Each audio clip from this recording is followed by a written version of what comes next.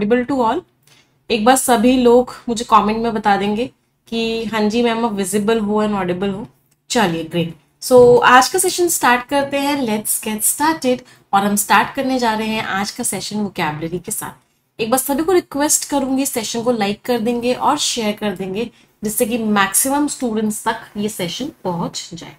तो स्टार्ट करते हैं आज का सेशन वोकेबलरी के साथ। और सबसे पहला वर्ड है the very first word is dissenting देखो, दो वर्ड्स होते हैं। एक होता है कंसेंट एक होता है डिसेंट कंसेंट का मतलब होता है कि आपने जो बोला, सामने वाले ने आपकी बात मान ली।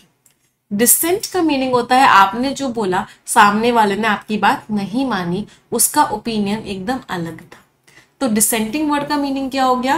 कि सामने वाले का जो ओपिनियन था, वो एकदम अलग था। आपने कोई सजेशन दिया, आपने कोई डिसीज़न लिया, आपका कोई विश्वास है, सामने वाला उससे डिसअग्री कर गया। दैट मीन्स उसका व्यू कैसा था? उसका व्यू डिसेंटिंग था। अब ये V one plus I N G लग रहा है तो ये किसकी तरह से यूज़ होगा? ये एडजेक्टिव की तरह यूज़ होगा। डिफरिंग है कॉन्ट्राडिक्टरी है, इसका मीनिंग क्या है? अलग है। एंटेनिम्स क्या हो गए भाई? सामने वाला मान गया अग्री कर गया, सामने वाले ने एक्सेप्ट कर लिया।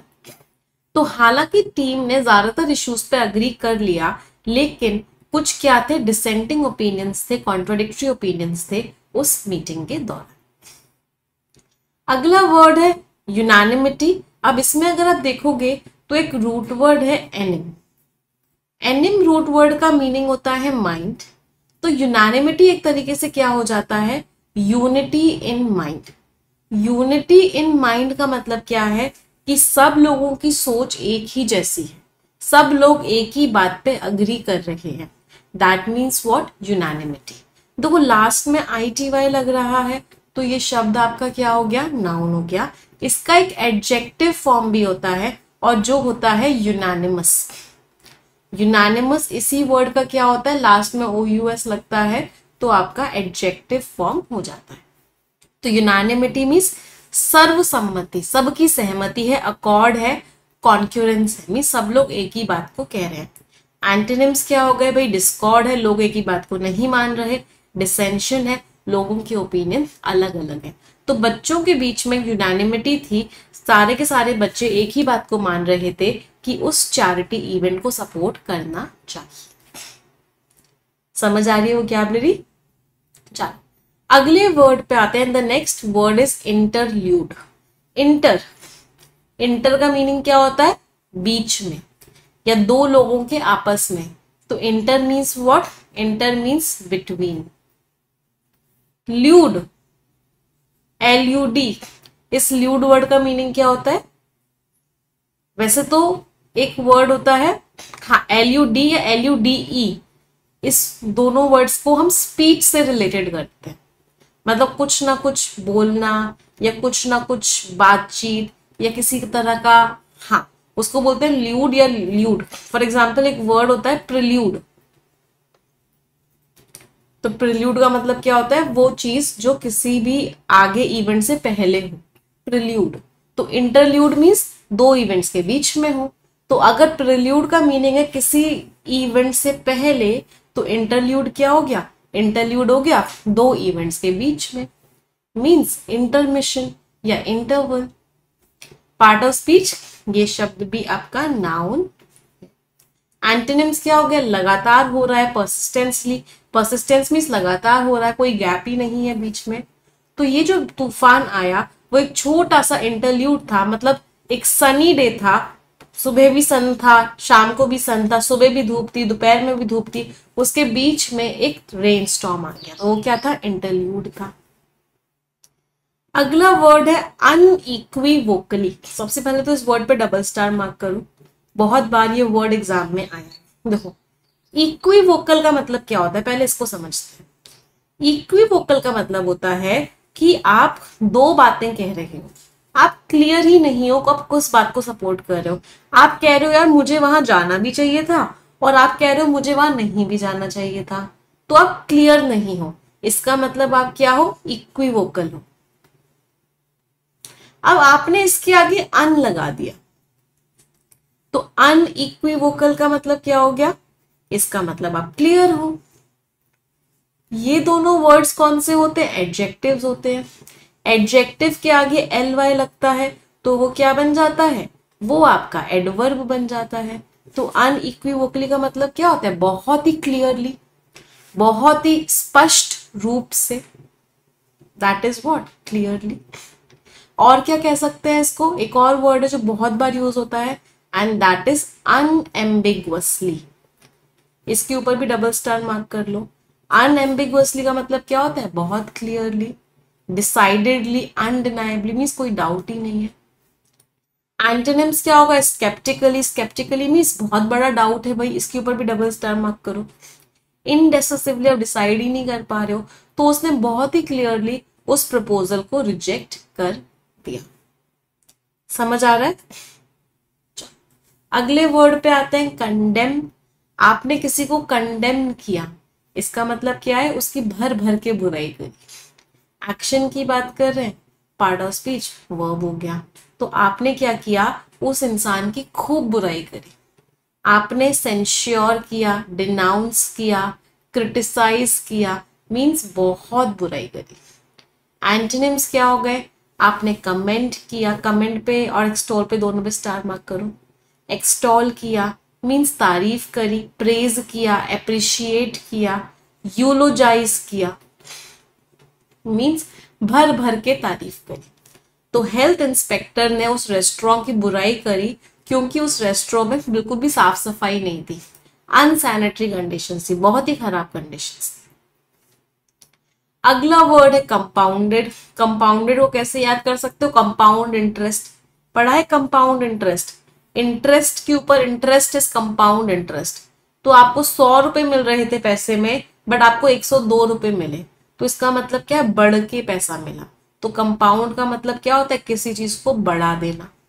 और स्पेशली किसको बढ़ा देना? दर्दों को बढ़ा देना। दर्द दिलों के कम हो जाते, ऐसा सोचा हुआ था, लेकिन हुआ क्या? दर्द दिलों के कंपाउंड हो गए, बढ़ गए।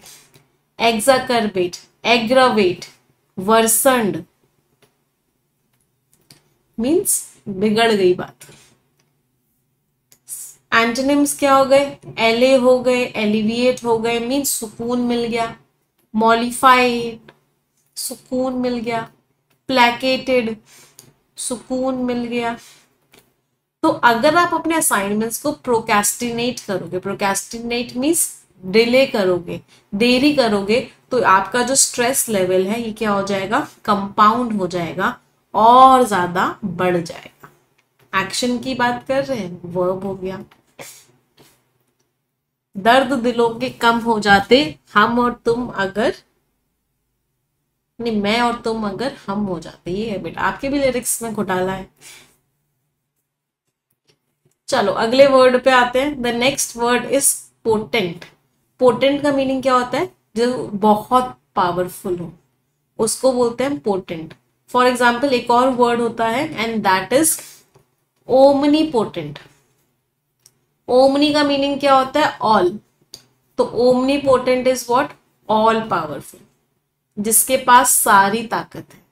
That is what omnipotent for example Shiv ji या फिर गॉड या कोई भी भगवान is omnipotent all powerful तो पोटेंट क्या हो गया? बहुत पावरफुल है फोर्सफुल है इफ़ेक्टिव है.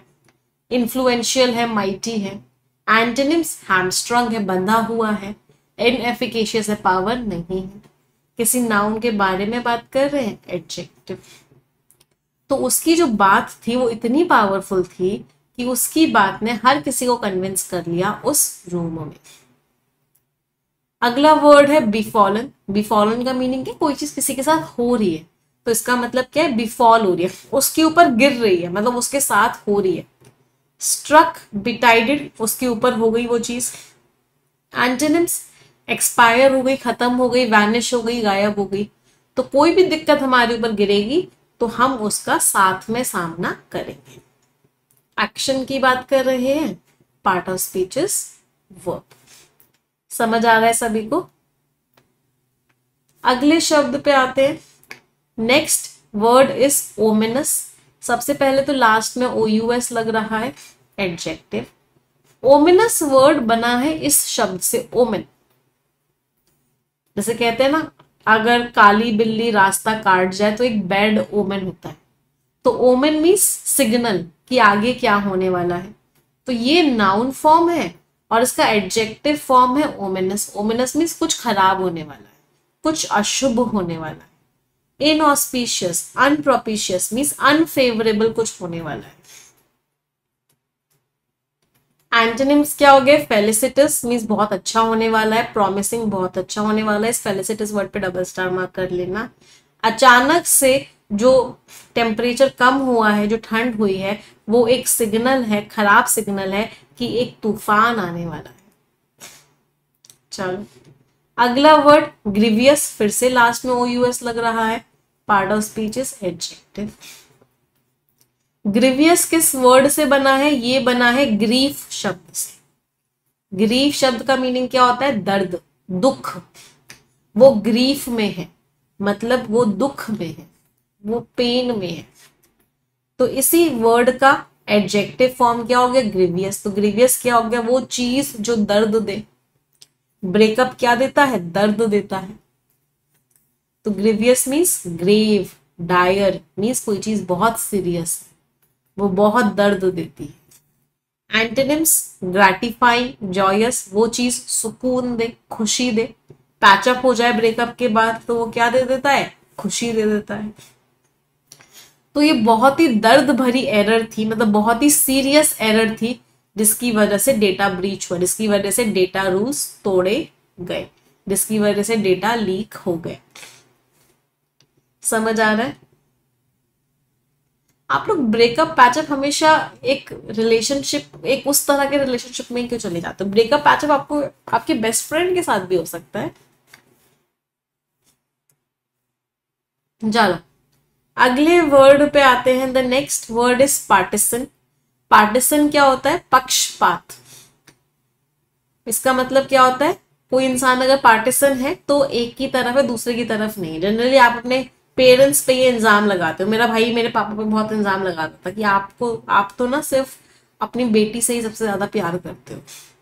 तो पार्टिसन का मीनिंग क्या होता है? एक की तरफ़ बहुत ज़्यादा सपोर्ट दिखाना, एक चीज़ की तरफ़ बहुत ज़्यादा बाइस्ड होना प्रेजुडिस्ड होना, भेदभाव करना। तो that is what partisan antonyms क्या हो गए? इम्पार्शियल होना फेयर होना। फिर वो कहते थे, नहीं बेटा, ऐसा कुछ भी नहीं है। मैं तो इम्पार्शियल हूँ, मैं तो फेयर हूँ। तो पार्टिसन मीन्स पक्षपात करना। तो पार्ट ऑफ़ स्पीच क्या हो गया?